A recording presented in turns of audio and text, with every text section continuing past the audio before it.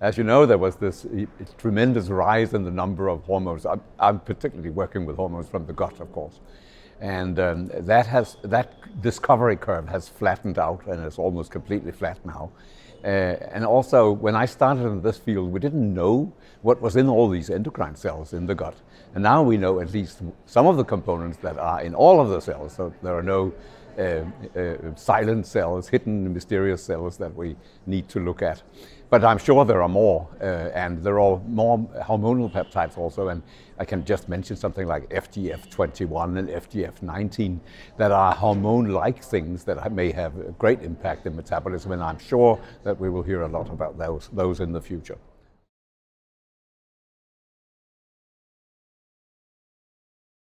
First of all, I, I, think I'm obliged to say here that uh, we should always remember to do lifestyle modifications. And this in particular has to do with physical activity.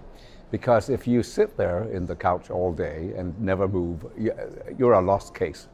I mean, it can't, it can't be helped, and it shouldn't be helped with a pill because you ruin your tissues, you ruin your muscles, and you destroy uh, your metabolism in general. So uh, you, you, you have to get up. You have to get up. Just a walk is enough.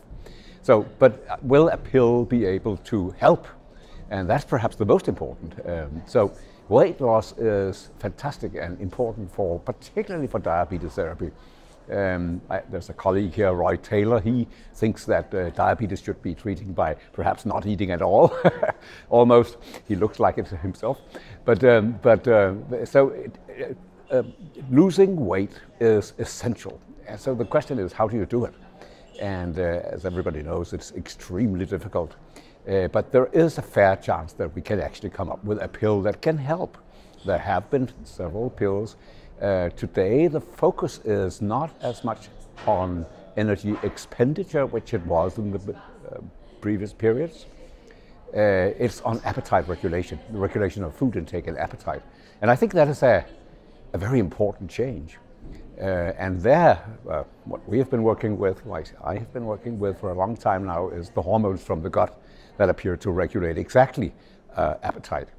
And uh, so right now um, they have been transformed into injectables and um, there are injectable therapies that will have an important activity on appetite.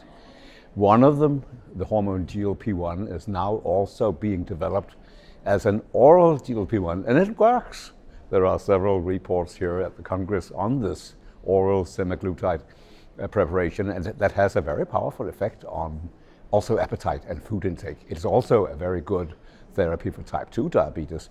But um, that is important also because not only will a weight loss be important for prevention of diabetes, but if you put a GLP-1 agonist on top, you're almost on the completely certain side that you will not develop. It's preventive. It's been demonstrated in large studies that this actually works. So one pill is almost on its way, and what we are working on trying to do is to see if we can find out how we regulate the secretion of these hormones from the gut.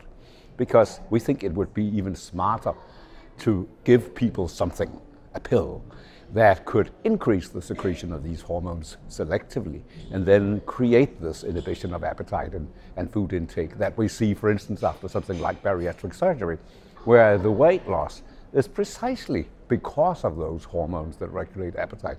So it's a, an inhibition of appetite and a reduction of food intake that is the consequence of this, and that is because of these hormones. So I think there's a huge potential in that, and uh, this is what we're working on there.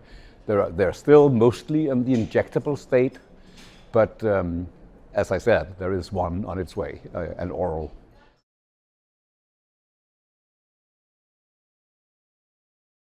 So it's going to be very complicated to predict the future about these things because there are still, as we already discussed, a number of things to discover here.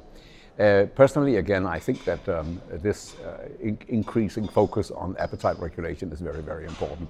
And I, I, really, I honestly do concur with my, my friend Roy Taylor that uh, uh, uh losing weight is one of the most essential uh, features of diabetes therapy. So it is that focus and uh, the, the knowledge and, and the idea that you have to do something about your metabolism as we said, with the physical exercise, you can't really lose weight with physical exercise. It's too difficult.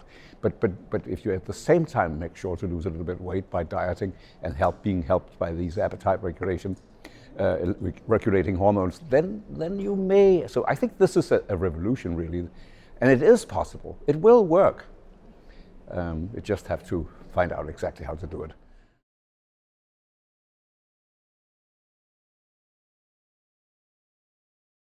Yeah, that, that of course is uh, I think one of the big, big societal questions these days with this very large uh, epidemic of obesity. And we've already discussed how important it is in terms of preventing also diabetes to, to do something about it.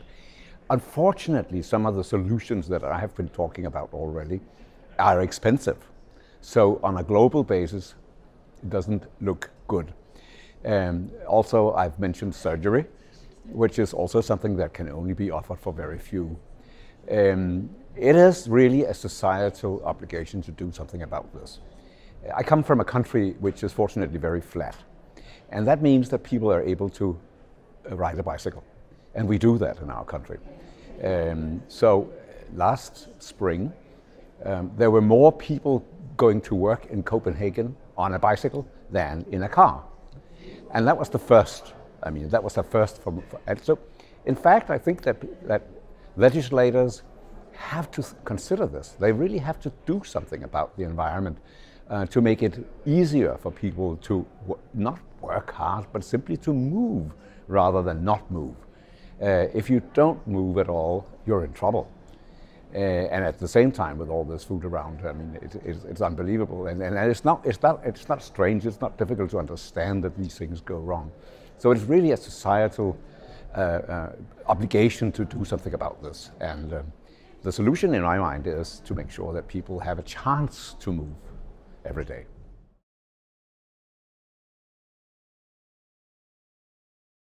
As usual, there's a lot of good science here, at, and, and, and the best science is what you find at the posters, of course. Uh, that's where all the new things are reported, whereas uh, in the big halls you very often hear what we already uh, had heard about. But um, there are many uh, new and, and important uh, findings.